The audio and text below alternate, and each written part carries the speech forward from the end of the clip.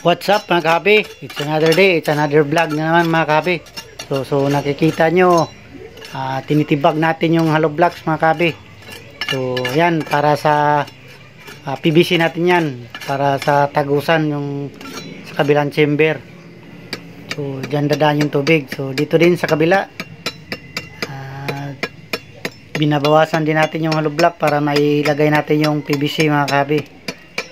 Subaybayan nyo na lang yung video natin mga i- ito nga pala yung part 2 nung ginawa nating fish pan serie mga kabi. So, so how to make fish pan, concrete pan yun. So, stay tuned lang at enjoy sa panonood.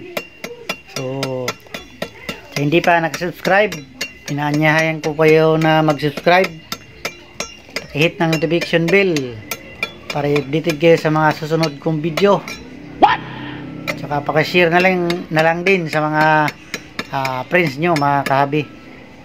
So, at yung malaga sa lahat, don't skip ads!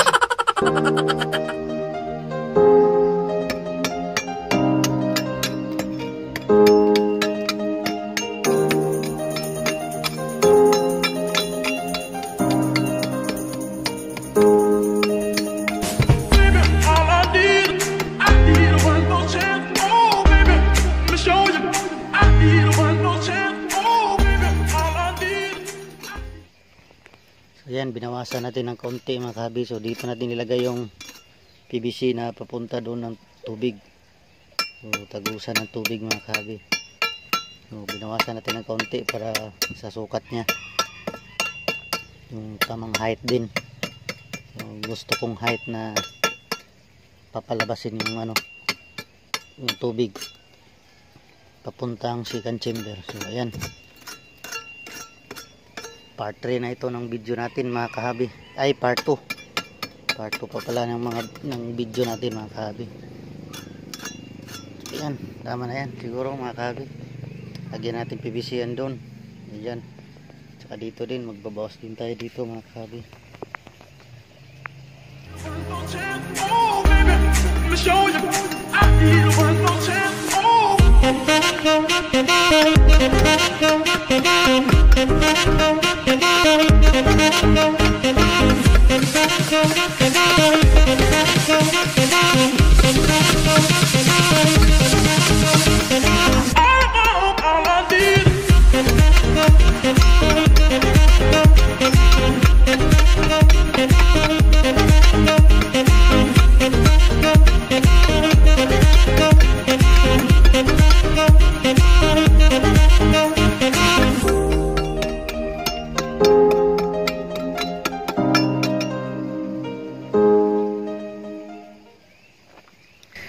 Lagyan na natin. So dalawa na lang dito mga kahabi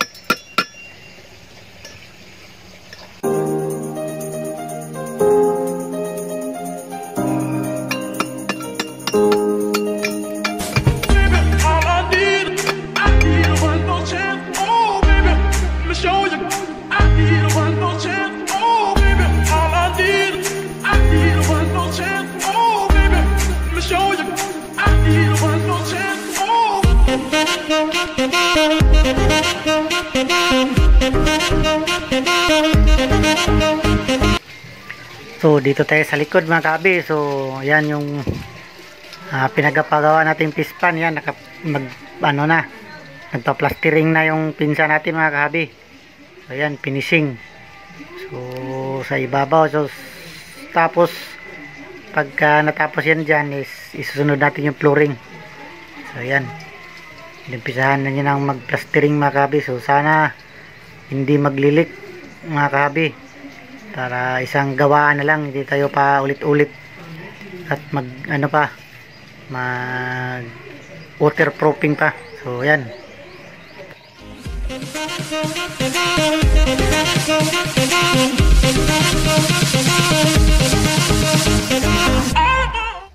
Yan na mga kahabi. So tapos na yung ano natin. Pinagpagawa nating pispan. Yan. So yan. Tatanggalin lang natin yung PVC na yan kasi yan yung drain. Tsaka ito ah, dugtungan natin kasi ito yung skimmer mga kahabi.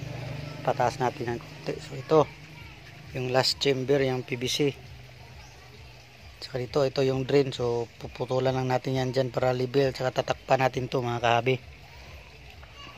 Yan tatanggalin din natin yan. Malaki.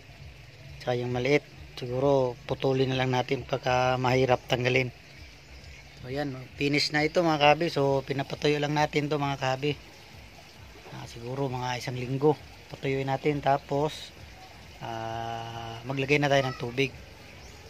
So siguro wala nang leak. So mag leak, leak test tayo. Ah, lalagyan natin ng tubig to sa susunod na linggo.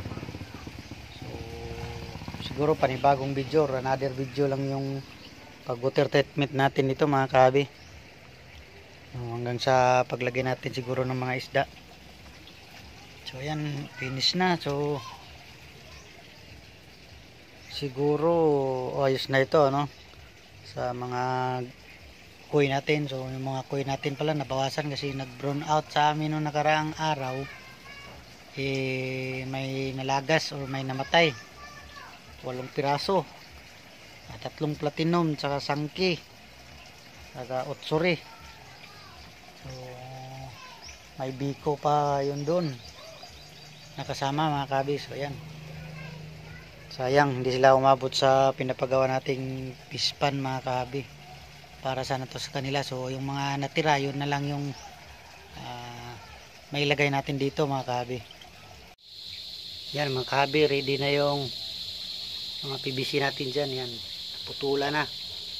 Saka dyan yung lagyan natin ng ilbo yan. So siguro mag water treatment muna tayo mga kabi ligtis muna natin to.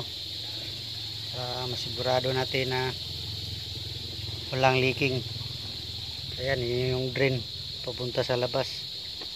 So gagawan ba natin na paraan yun dyan? Kasi nakalubog yan mga kabi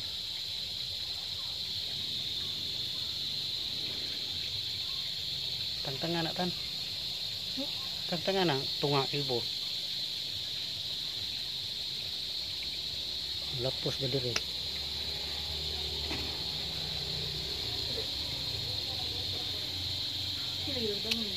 yoga yoga tunog na tunog